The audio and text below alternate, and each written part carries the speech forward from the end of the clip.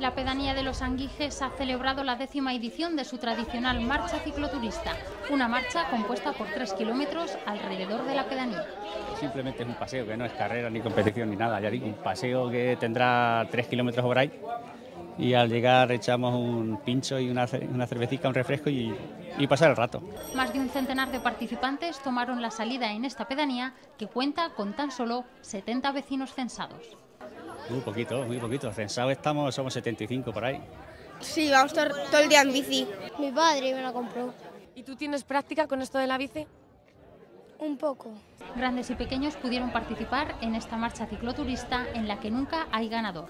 Eso sí, entre todos los participantes se sortea una bicicleta al final de la prueba. Hemos venido otros años, sí. Además, el año pasado nos tocó la bici y le tocó a ella.